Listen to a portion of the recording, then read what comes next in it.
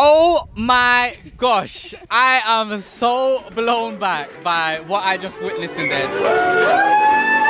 So we dance a style called rapper dancing.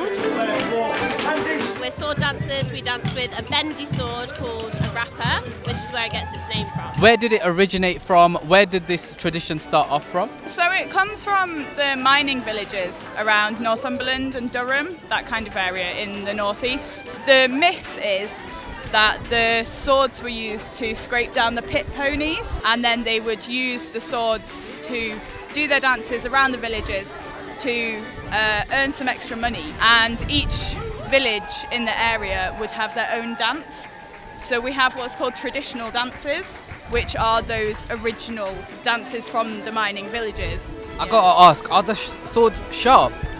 not really Good. Um, because I was watching it and I'm like, oh.